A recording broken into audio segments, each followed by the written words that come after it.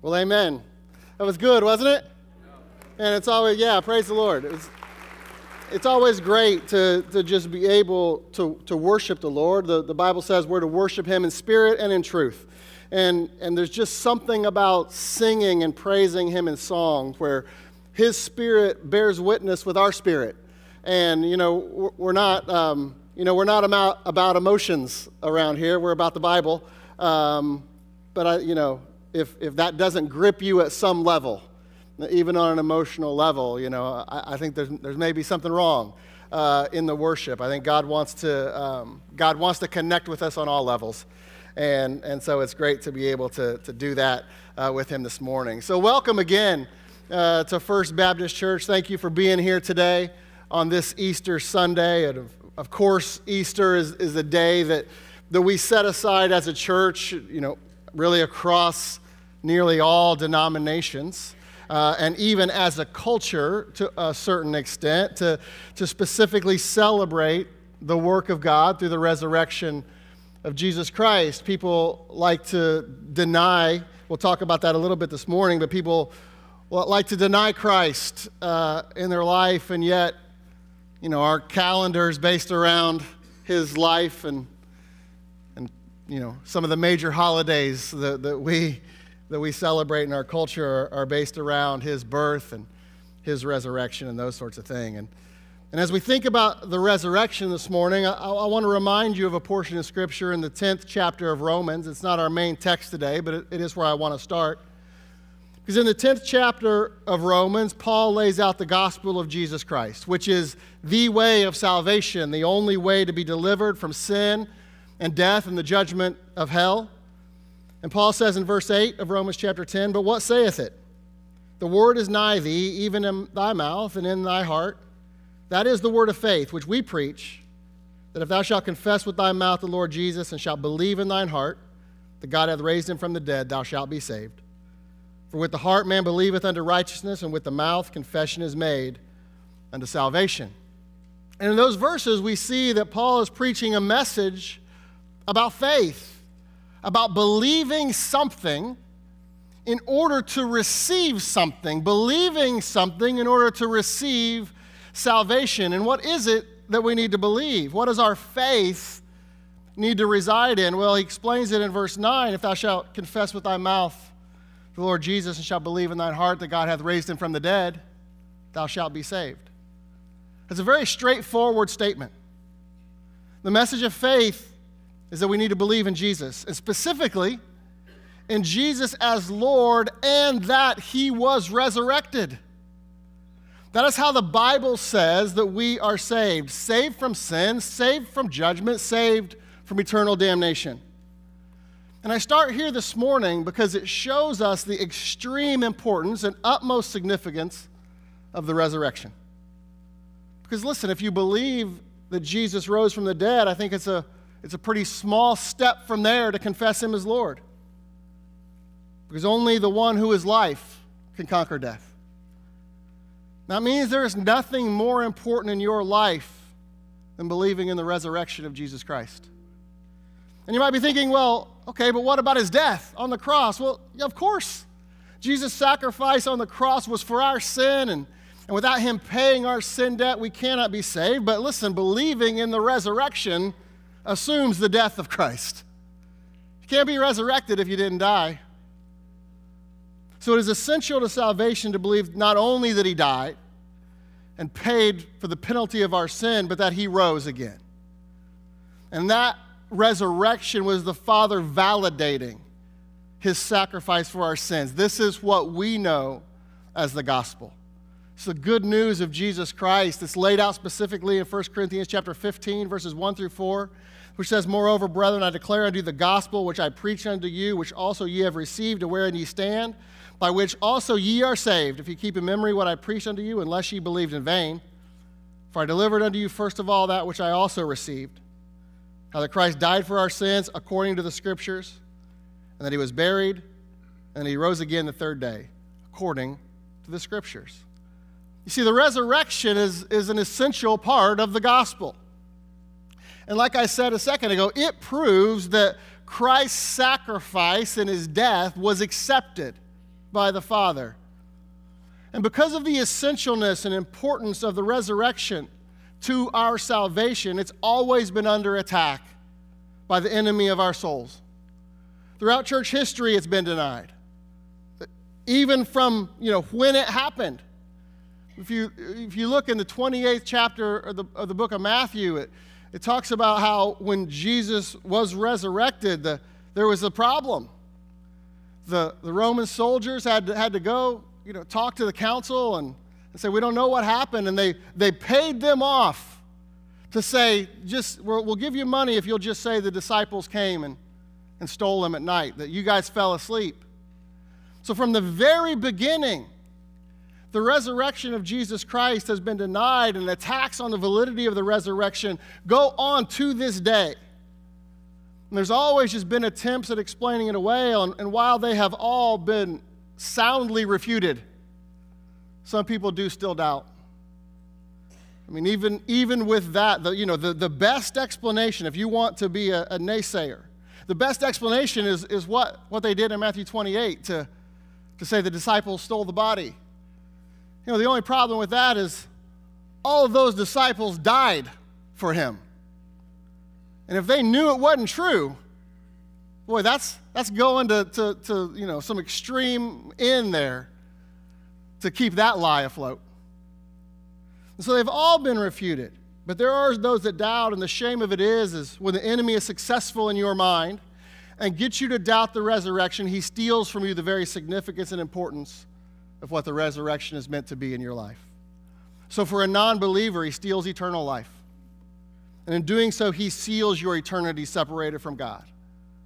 But listen, he could even steal from a believer. Now, for the believer, eternal life is secure.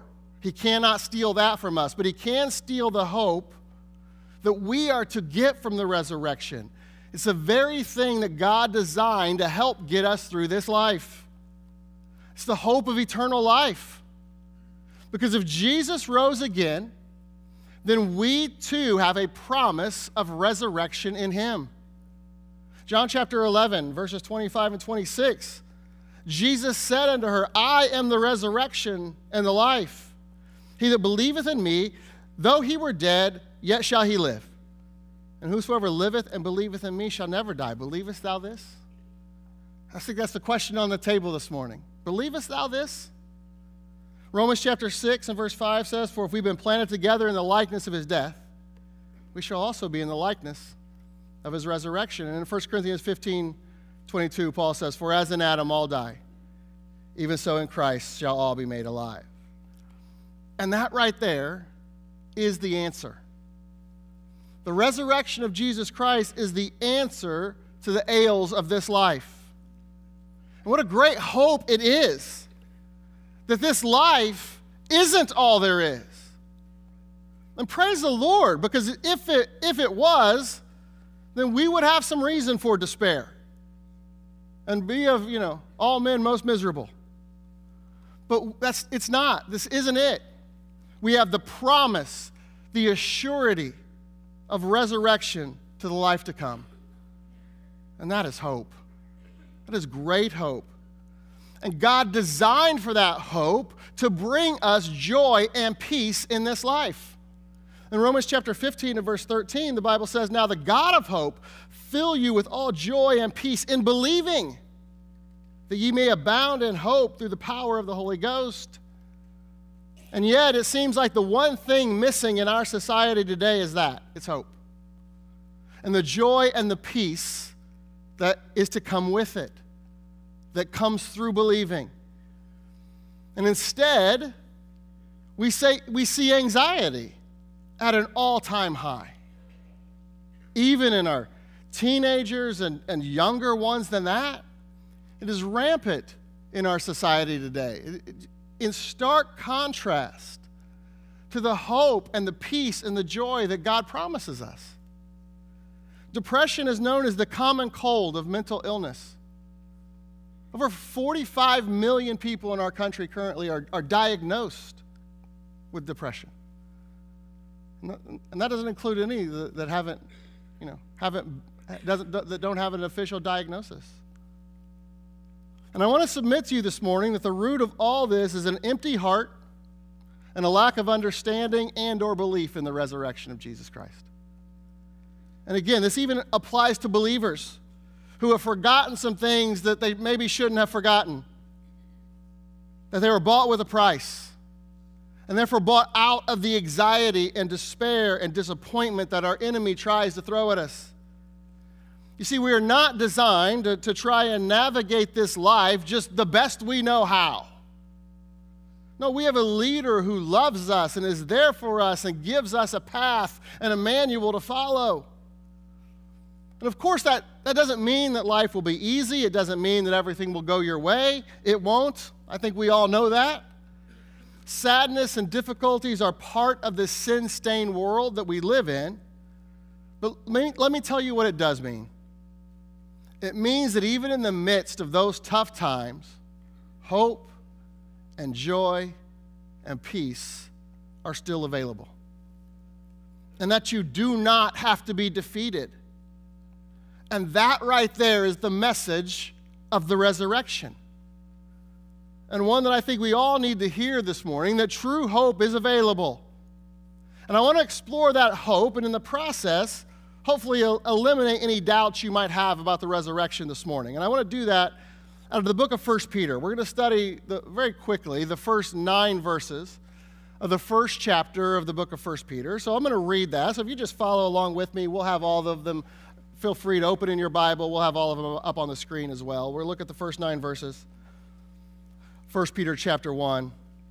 Verse 1 says, Peter, an apostle of Jesus Christ, to the strangers scattered throughout Pontus, Galatia, Cappadocia, Asia, Bithynia, elect according to the foreknowledge of God and Father through sanctification of the Spirit, unto obedience and sprinkling of the blood of Jesus Christ, grace unto you and peace be multiplied.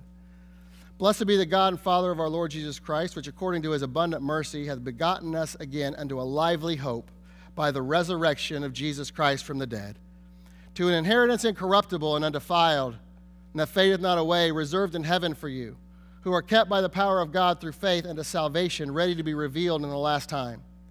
Wherein ye greatly rejoice, though now for a season, if need be, you're in heaviness through manifold temptations At the trial of your faith, being much more precious than of gold that perisheth, though it be tried with fire, might be found unto praise and honor and glory at the appearing of Jesus Christ, whom having not seen ye love, in whom though now ye see him not, yet believing, ye rejoice with, unspeakable, with joy unspeakable and full of glory, receiving the end of your faith, even the salvation of our souls.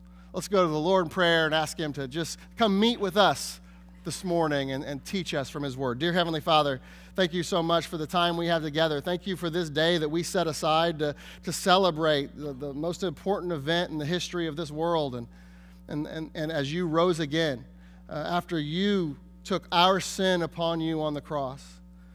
And Lord, we're just so thankful for that. And, and Lord, I just pray for everybody here this morning that, that they will hear directly from you. They won't hear from me but they'll hear from you, they'll hear from your word this morning, that you'll speak clearly to their hearts, and that you'll give them what it is that they need and understand the hope that we have through the resurrection of your Son. And Lord, we just love you. We thank you for the time we have together, and we ask it all in Jesus' name. Amen. Now, in this passage, Paul describes what he calls a lively hope that we should receive from believing in the resurrection. We read that in verse 3. And I use that just as our title this morning A Lively Hope of the Resurrection. And just in case you're wondering, lively hope, very simply, just means a hope that is alive, that is real, and that brings about life in you to the point that it changes your very being and even the way you live. And I want to give you three characteristics of this hope that we see in this passage that is good news for all of us. And the first characteristic I want you to see is that lively hope is available to strangers. Lively hope is available to strangers, and this comes as the best of news. Because strangers are what we all were at one time and what some of you might still be today. And, and I'm not talking about those of you who are visiting with us for the first time you know, maybe you feel like a stranger, and in one sense, maybe you maybe are a stranger to most of us. But my, my desire is that you feel at home here today. And, and just know that you're welcome anytime. We're thrilled that you joined us this morning. But that's not what I'm talking about. What I'm talking about is a spiritual distinction. Let me show you what I mean in verse 1. Peter, an apostle of Jesus Christ, to the strangers scattered through Pontus, Galatia, Cappadocia, Asia, and Bithynia. Now, Peter writes this book and this section of scripture regarding the hope of the resurrection to a group of people he calls strangers. And a stranger just means an alien. And historically, the historical application of this verse is it was those Jewish Christians that were scattered or dispersed away and out of Judea. You know, after the resurrection of Jesus Christ and after the, the, the, the blossoming and blooming of the church at the beginning of the book of Acts, that's, that's where we're at in our normal Sunday morning study, so we've seen some of this. We saw that after that church got go, going, they began to face great persecution. We saw that at the beginning of Acts chapter 8, primarily. And so the first century was a time of great dispersion, known as the time of dispersion. And those, those Uh, Jewish believers were scattered abroad and dispersed among many of the regions of the civilized world at that time as they were running from the persecution that they were facing. And so, where, what the Bible says that, that is that they were strangers in the lands in which they landed. And the word stranger is used many times in Scripture. One example is Exodus 22, verse 21. God tells his people, Thou shalt neither vex a stranger nor oppress him, for ye were strangers in the land of Egypt. And God's people were not strangers unto themselves, but they were to the people of Egypt, just like they were to those regions in which they were dispersed. But on the flip side, what we see in Scripture is that to Israel, the strangers were the Gentiles. And that's kind of the historical context of, of what's being talked about here. But spiritually speaking, that is us. You see, before our salvation, we were strangers to the household, to the kingdom of God. Paul explains it in Ephesians chapter 2, starting in verse 11. He says, Wherefore remember that ye being in time past Gentiles in the flesh who are called uncircumcision by that which is called the circumcision in the flesh made by hands. That at the time ye were without Christ, being aliens from the commonwealth of Israel, and strangers from the covenants of promise, having no hope, and without God in the world. But now, in Christ Jesus, ye who were sometimes were far off are made nigh by the blood of Christ. And then j- jump down to verse 19. Now, therefore, ye are no more strangers and foreigners, but fellow citizens with the saints and of the household of God. And what you need to see in, in these verses is that a stranger to the household of God has no hope. They're without Christ. That's what Paul says in verse 12 of, of Ephesians chapter 2. That is the end of those without Christ. But the message doesn't stop there because he goes on to say that we've been made nigh by the blood of Christ. We've been brought close to God through the shed blood of Jesus on the cross. And that means that hope is available to the stranger. Hope is available to you and me. Now, it's not automatic because Christ's blood isn't automatically applied to the sinner, but it is available. And when we accept Christ's offer of salvation by believing in the death, burial, and resurrection of Jesus and placing our faith in the Lord Jesus and then enter into the family of, and household of God, we are no more strangers. And that's good news. So the word gospel means it means good news. That right there, what I just told you, is, is the best of news. And many in this room can attest to that truth this morning. There are many of us who were strangers and were cut off from Him, but now we are children of God. He took our sin upon Himself on the cross of Calvary. And there was a time in our life when we trusted in Him to pay our sin debt, and we believed in the death, burial, and in the resurrection. And in that moment, hope was restored. Because for me, I, I, can't tell you how much joy it brings me to not only be the son of Gene Stogsdill. I mean, I'm proud to be the son of Gene Stogsdill. He's a great man and a great father. But I not only have a physical birthday, I have a spiritual birthday as well. Because I have been born again and I've been adopted by God the Father. By the Creator Himself, and I am a son of God. And I pray that I never get over the wonder of that truth. But listen to me very carefully. Because if you're in here this morning and you still are a stranger to God and lacking hope, I want you to know that you don't have to stay that way. Because, secondly, our, second point this morning is that lively hope is found in our salvation. Lively hope is found in our salvation. Look at verse 2. He said, elect, according speaking of these strangers who are, who, who, who are now who are believers in, in Jesus, elect according to the foreknowledge of God the Father through sanctification of the Spirit unto obedience and sprinkling of the blood of Jesus Christ, grace unto you and peace be multiplied. Blessed be the God and Father of our Lord Jesus Christ, which according to his abundant mercy hath begotten us again unto a lively hope by the resurrection of Jesus Christ from the dead. To an inheritance incorruptible and undefiled that fadeth not away, reserved in heaven for you, who are kept by the power of God through faith unto salvation, ready to be revealed in the last time. And what we see in, in those verses are just a beautiful description of what happens when we place our faith in Jesus Christ and are saved. And in this salvation, Peter talks about the exact same things that Paul does throughout his epistles. How a believer in Jesus has been chosen and begotten and born into God's family and then blessed beyond measure because of it. We are born again unto a lively hope. And listen to me, at the moment that you chose Jesus, your life changed in a miraculous and monumental way. And don't get tripped up by the word elect that you see there in verse 2. It just means that God chose us according to his foreknowledge. That's what it says elect according to the foreknowledge of God. You see, God is eternal and he exists outside of space and time. So he has knowledge about what happens in space and time before space and time ever even existed. I know, like, think about that for a little bit. Like, that'll break your brain, I know it. But because of this, because of, of what the Bible calls his foreknowledge, God knows who will ultimately choose Jesus and who won't. God saw all of that before he ever spoke creation into existence. And because he saw you choose Jesus, he chose you and selected you to become one of the elect.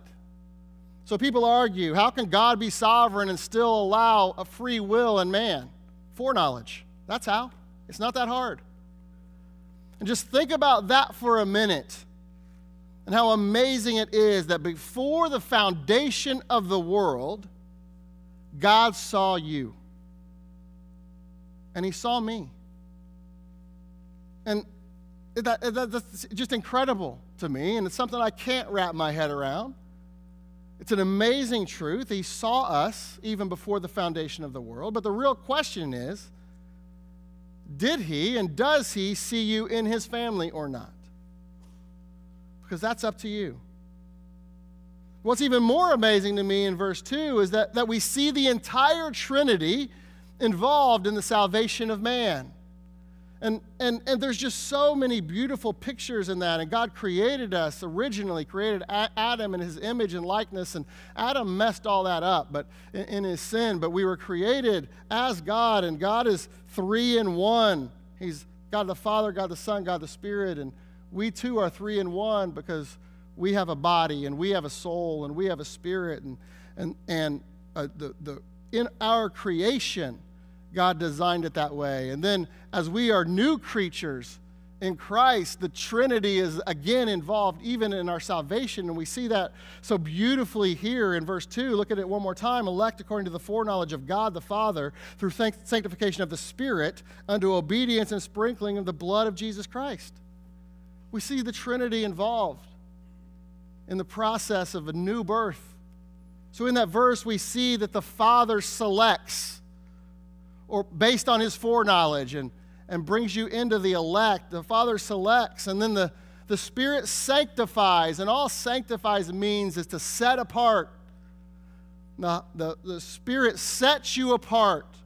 Part of the role of the Holy Spirit is to seal us that sealing when we get saved separates us from the world and from our flesh. And through his indwelling, he joins us to the Godhead. 1 Corinthians 6 17 says, But he that is joined unto the Lord is one spirit. 1 Corinthians 12 13 says, For by one spirit are we all baptized into one body, body, whether we be Jews or Gentiles, whether we be bond or free. We've been all made to drink into one spirit. So the Father selects, the Spirit sanctifies, but then, third, we see that the Son saves. The Son saves. And how does He do that, according to 1 Peter 1 and verse 2? By the sprinkling of His blood, by His sacrifice on the cross. His blood was shed to wash away our sin. Revelation 1 5 says, And from Jesus Christ, who is the faithful witness, and the first begotten of the dead and the prince of the kings of the earth, unto him that loved us and washed us from our sins in his own blood. You see, there was a time where I was a sinner. Because of that, I was separated from God as a stranger. As were you and every person that has walked this planet throughout history. But because of our sin, God knew we were separated from Him, so He made a way. He made a way for us to get to Him. He's not willing that any should perish, the Bible says. And the way is Jesus. Jesus even said so himself, John 14, 6. Jesus saith, Unto him I am the way and the truth and the life. No man cometh unto the Father but by me. See, God the Son became a man in Jesus, and he lived a life that you and I could not live, one that was sinless and therefore he died a death that we could not die as a perfect sacrifice for sin. He had to live the sinless life to be the perfect sacrifice. That's why you and I can't do it. So he took our sin to Calvary. Listen to how Paul describes it in Colossians chapter 2, verses 13 and 14. And you, being dead in your sins and the uncircumcision of your flesh, hath he quickened or made alive together with him, having forgiven you all trespasses blotting out the handwriting of ordinances that was against us, which was contrary to us, and took it out of the way, nailing it to the cross. Those are some of my favorite verses in the Bible. He, he took my sins and he nailed them to the cross and, and the law that was condemning me. He who knew no sin became sin so that I could partake in the righteousness of God through Jesus.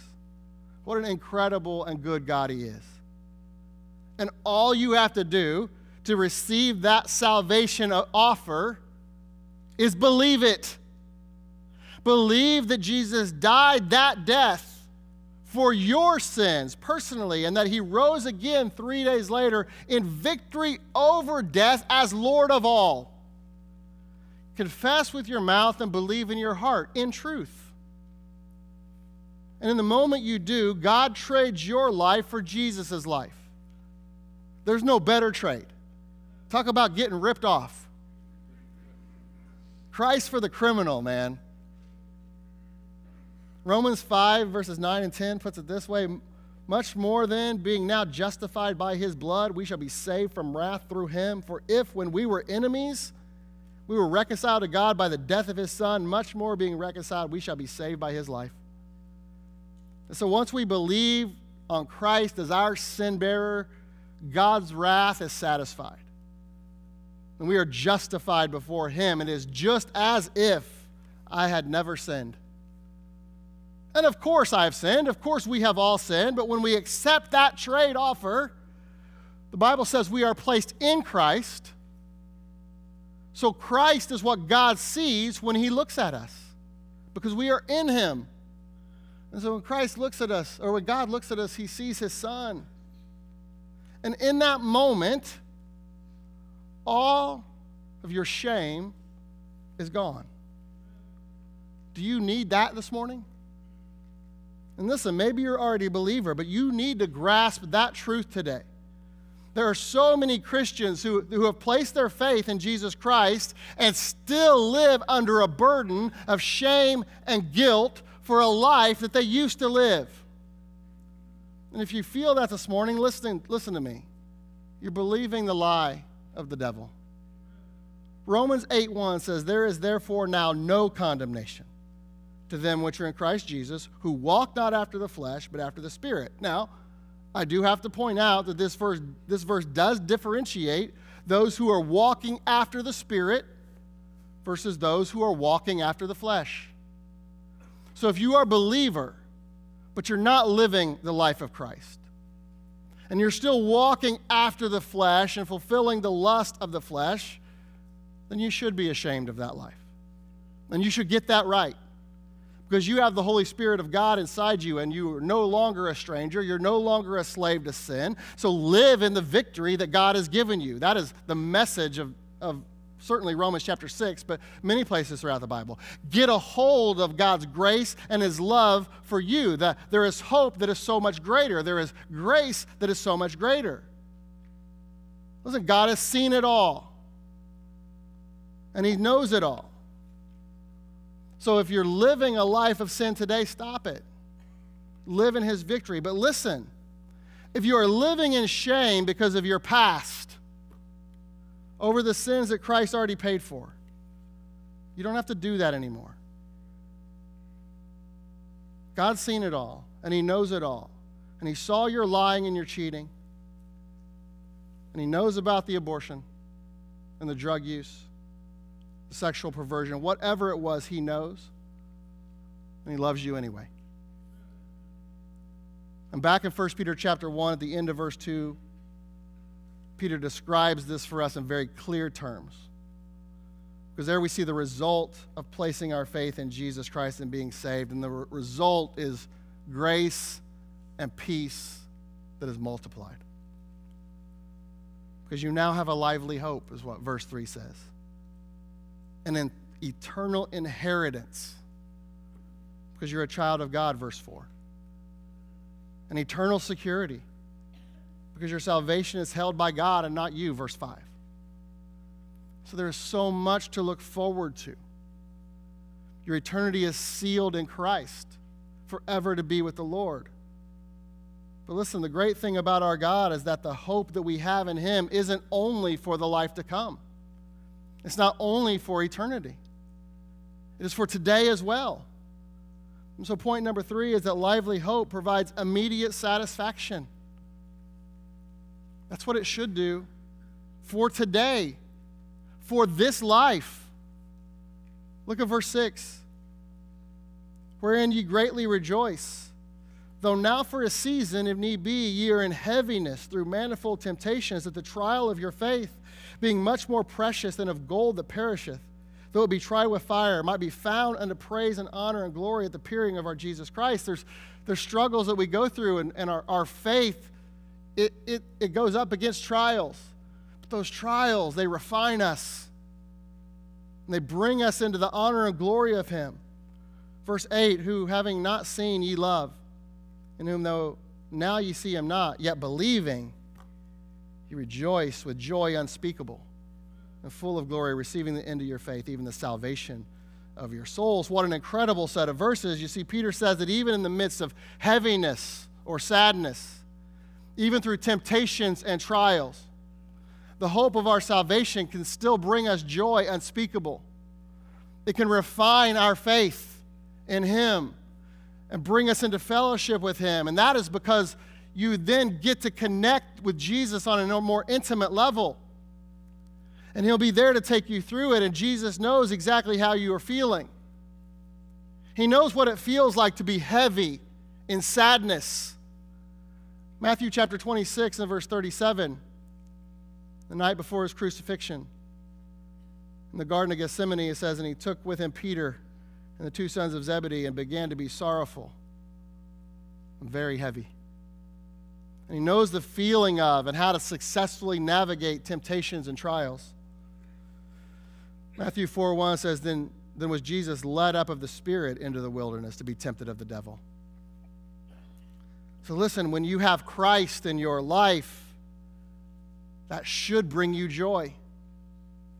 And Paul is maybe the greatest example of a Christian who faced heaviness and temptations and yet remain joyful.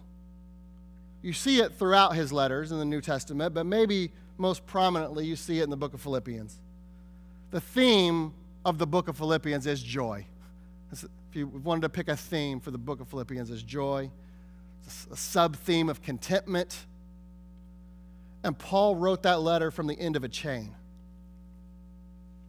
Paul was in prison, literally chained, when the Holy Spirit inspired him to write a letter focused on the joy and the contentment that we can have in Christ. It's incredible. And the, in the middle of it, in the middle of all his suffering, what was the cry of his heart? To know Christ and the fellowship of his sufferings to be made conformable unto his death. Philippians 3:10. But listen, that is the joy for the believer to enter into the fellowship of his sufferings to be like him. Why? Because our life isn't in this flesh. Our life is in him. Paul said in Galatians 2:20, I am crucified with Christ, nevertheless I live, yet not I. But Christ liveth in me, and the life which I now live in the flesh, I live by the faith of the Son of God who loved me and gave himself for me.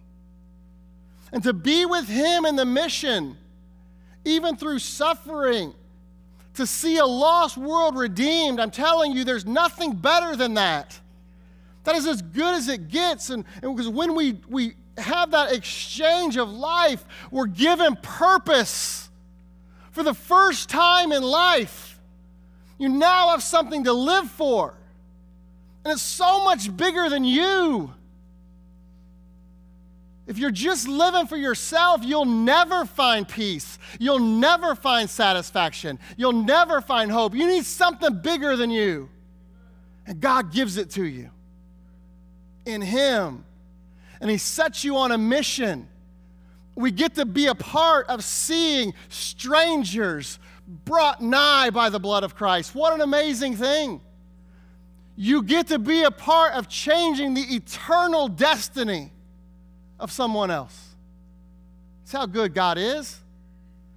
And we waste our time on temporal pursuits in its place. There's no satisfaction in that. If you make this life all about you, you will never have joy or peace or satisfaction. You only get that through the hope that is found in Christ and in truly exchanging your life for His. But when you do that, you have immediate satisfaction and peace and security, even in the hard times that we all face in this life. You can have joy unspeakable. And this hope is not a, a wishful thinking. It is certainty based on God's word. It's, it's, it is an I know it so hope. Hebrews 11.1 says, Now faith is the substance of things hoped for, the evidence of not things. But I want to I want to break that down because substance means assurance, realization, something that is tangible and real. And evidence entails proof. So biblical hope rests on solid proof, not just feelings, not just conjecture, not just wishful thinking. And it's all because of Easter. And when you place your faith in the gospel that Christ died and was buried and rose again, that he died to satisfy God's wrath over your sin, that he was buried and placed in the grave for three days to fulfill the prophecies and promises of God, and that he rose again the third day in glorious power, it is through God's grace and your faith in all that I just said that you are born again and have this wonderful and certain lively hope. And that should propel you through the difficulties of this life. That's how much God loves you. And I hope you believe that this morning. And you say, Well, I don't, I don't feel the love of God. Well, listen, feeling isn't the issue. The truth is, you don't believe that God loves you. You don't believe what the Word of God says. Because God loves you with all of His heart, and He shed His blood on Calvary to prove it. What else does He need to do? And the proof that his shed blood is enough is the resurrection. Sacrifice accepted. And now, maybe some of you in here have hang ups about this truth because your family is messed up. And maybe your father or your mother didn't or, or don't love you like they should. And that makes it hard for you to believe that your heavenly father loves you. And maybe that is why your life is all about you. And nobody else has looked out for you, so you're going to look out for yourself. I want you to know this morning that's a hopeless approach. But there is hope. And that hope is because Jesus is alive today. He died, but he didn't stay dead. And that's what today is all about. So don't let this day come and go if you do not know the hope of the resurrection personally for yourself. I mean, why else would you come to church this morning? I know Easter is a popular time to come to church. We have more people here than we do on a normal Sunday. But listen to me coming to church, especially coming to church on Easter Sunday, it does not earn you any favors with God. None. No amount of good works will. I'm, I'm, I'm thrilled that you're here today. I'm glad that you're here, but I love you the, enough to tell you the truth. Coming to church today does nothing for you. But giving your life to Christ does. Coming to church today could be the best decision you ever made if you'll give your life to Him. God only accepts the sacrifice of His Son. So trust in that for eternal life today. let's have every head bow and every eye closed. And with no one looking around, I want to ask you a question. Just hearing what you've heard this morning, do you remember and know of a time in your life that you were saved and accepted Christ's sacrifice for your sins as your, as your own, for yourself? Was there a time that you believed and confessed on the Lord Jesus Christ? Do you know beyond a shadow of a doubt that you are saved? And if you were to leave out of here, God forbid, die on your way home, do you know where you would spend eternity? Do you have the lively hope we've talked about this morning, or are you still a stranger to God?